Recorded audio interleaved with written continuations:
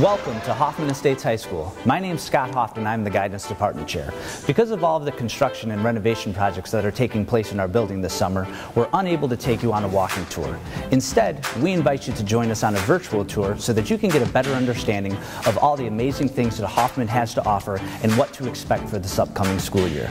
Joined with me today are some of our other counselors, Mrs. Stevens, Mrs. Brayton, Mr. Murphy, Mrs. Mann, Miss Mattioli, and Mrs. Cordova. Counselors will be assigned to all of our incoming freshmen either late July or early August. Each day, all students will enter through the main entrance of our building, the east side. Make sure you're wearing your school issued ID and lanyard each day you're at Hoffman. If you forget your ID, you can get a temporary ID from one of our student supervisors, which will be in the foyer of our school. You get three free temporary IDs each year. After that, you are charged a dollar for each additional ID. If you'd like, you can purchase a new ID if you lost one, and that would be $3 in our main office right here. I'm going to take you now over to this side, and we're going to look at what you'll see a lot throughout the building. If you notice down at the end of this hall, you'll see the letter B. That is because today here at Hoffman, it's a B day. As you know, there are A days and B days at Hoffman, and each day you will see these signs throughout the building, so it will keep you on track whether it's an A day or a B day. We are now in the main academic portion of the building. This is the only portion of the building that has all three levels. Currently, we are standing outside of our media center. So there is a level above us and a level below us. Students have six staircases that will get them to each level of the building, which are located in the corners and also in the middle main hallways. Now, when a student looks at their schedule, for all academic classes, they will see a three-digit number that is associated with where that classroom is located. Each number in that sequence tells you something about that classroom location. For example, if the first number starts with a 2, that classroom is going to be on the upper level. If that number starts with a 1, that class is going to be on the main level, and if that class starts with a 0, that class is going to be on the lower level. The second digit in that sequence will tell you which hallway that classroom is located in. So, for example, if you have a number in the teens, such as 117 or 114, that class is going to be in the northernmost hallway on the north side of the wall. If you have a class in the 20s, such as 122, 123, that class is also going to be in that northernmost hallway, but on the opposite side of the wall. If you have a class that starts in the 30s, that class is going to be in the middle hallway on the north side of the wall, whereas a class in the 40s will still be in that middle hallway, but on the opposite side of the wall. Now, if you have a class that starts in the 50s, that is going to be in the last through hallway along the northern side of the wall, whereas a class in the 60s will still be in that last through hallway, but on the opposite side of the wall. We do also have, um, on the upper and lower levels, another part of a hallway that has the numbers for classrooms in the 70s. We will now continue our virtual tour and enter our media center and showcase some of the resources that are available to your student throughout the day. As you enter the Media Center, to my left is our circulation desk, and all students will be asked to scan in their ID for accountability purposes. On the other side of the circulation desk is one of the many resources available to our students, math tutoring. Math tutoring is staffed with math teachers and teacher assistants all four blocks throughout the school day so that students who are struggling or need additional assistance can receive the help that they need. To my left is one of our many help desks. This is technology support. Students who need assistance with Infinite Campus accounts, their iPad, if they need their iPad charged, if they left their iPad at home and need to borrow one, um, if they're having issues with their email, this is a place where they can get all of their questions answered and get the help that they need with any technology related issue. Right behind me is our test makeup center. If your student is absent, an assessment is given during the day that they are absent, that particular teacher will leave a copy of that test down here and ask your student to make up that test within a few days. The student can make up their test during their freshman foundations class, freshman study lab, or after school.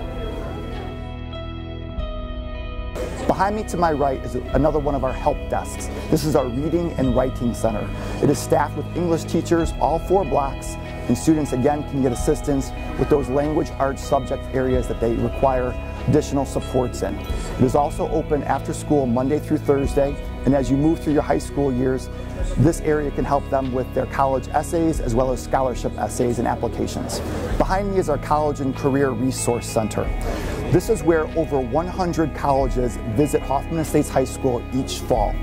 Throughout these meetings, you can learn about admission requirements and scholarship opportunities, as well as what types of majors each university offers. You can also receive scholarship information here, as well as financial aid information.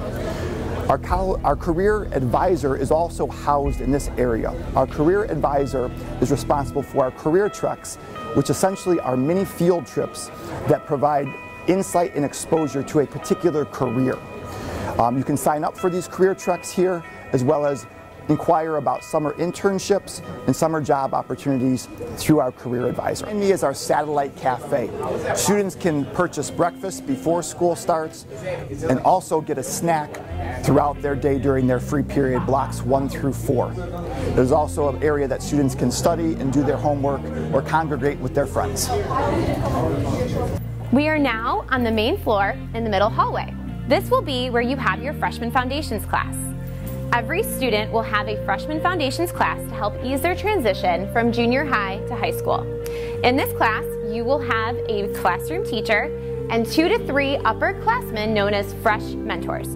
Your fresh mentors will serve as a guide and a resource for you so they can also assist you with homework and help you in any way you need. You will notice that you have foundations on either an A or a B day. If you look at the opposite day, you will notice that the majority of you have a freshman study lab. In Study Lab and in Foundations, it is a great time for you to complete homework, meet with teachers, or make an appointment with your counselor and visit our Media Center for the tutoring resources that you need. All right guys, we're now on the second floor of Hoffman Estates High School, so everything on this upper level starts with the number two. So if you have a classroom on your schedule that starts with the number two, up here a lot of our English, science, and math classrooms um, are available for our students. Uh, the academic offices for English, math, and science are also up here. Uh, this hallway that I want to show you right now to my right is um, kind of an extra hallway that's on our upper and lower levels. Uh, so if you have any classes that are all the way downstairs that start with a zero, um, and then go into the 70s, or if you have a, a, classroom on your schedule that starts with a 2 and goes into the 70s, those classrooms are in kind of this extra um, kind of U-shaped hallway that does connect all the way around, but it is different than the main floor. Since we have our media center on the main floor, uh, we do not have those 70s level classrooms on that middle floor. So again, on the bottom or upper levels, we have those 70s level classrooms.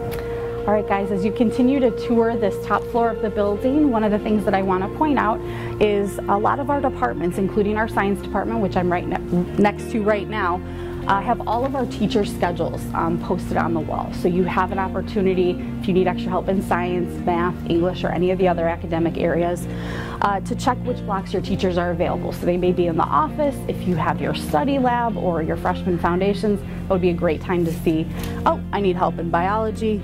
Ms. Katoon is available during third block, that's perfect. I can come and see her for some extra help. So a lot of the departments uh, will have this resource available either right inside of their office space or right outside like the science department does here.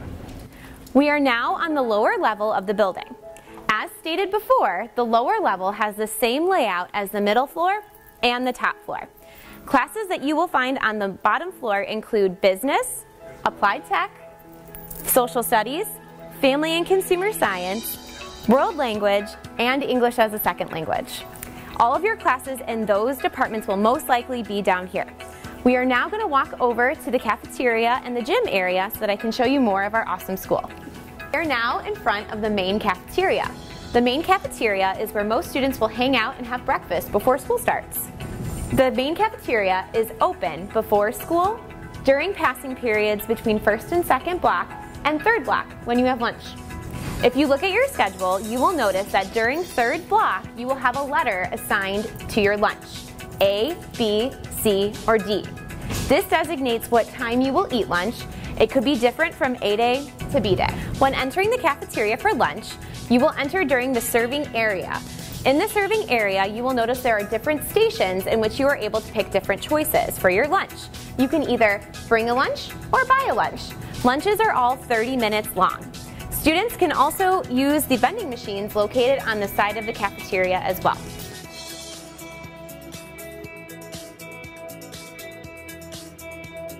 I am down the hallway from our student cafeteria just past the band room and on the west side of the main gym is where our boys locker room is. This is where boys would enter to get ready before freshman wellness class.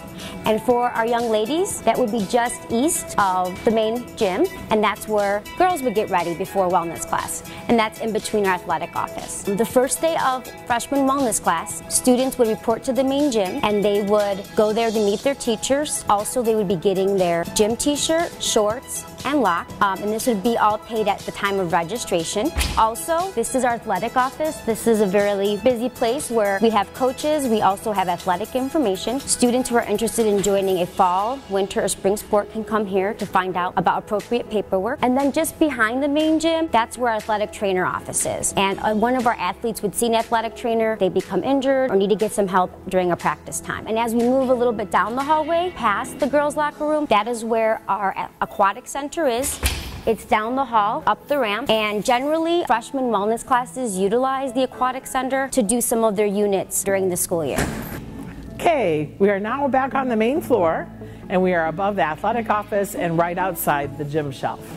On the very first day of school, you can access your schedule using your iPad by logging into Infinite Campus. If you're having problems entering your information on Infinite Campus, you can most certainly go to our West Gym shelf, which is right through these doors over here, and access your schedule there. You'll get a printed copy of your schedule by just giving them your last name. Along with that, I'd like you to uh, make sure that you have all your registration fees turned in, have all your immunizations to the nurse, and registration materials done. Okay, now I'd like to talk to you about what's inside the gym, where you'll have all kinds of your gym classes. On the other side of the gym is your weight room, where you'll actually be working out, and you can even take a class your junior and senior year on weight training. On the other side of that weight training gym is the auxiliary gym. The auxiliary gym is one of our small back gyms, and you may even have some of your gym classes in there. This concludes our virtual walking tour. Thank you for taking the time out today to visit with us and learn more about what Hoffman has to offer. If you have any additional questions, please do not hesitate to contact the Student Services Department. Throughout your four years at Hoffman, your counselor is going to serve as a tremendous resource for both students and parents. And we also want to remind you to please to take advantage of freshman kickoff this August so that you can better familiarize yourself, meet new people, and get a better understanding of what to expect on the first day of classes.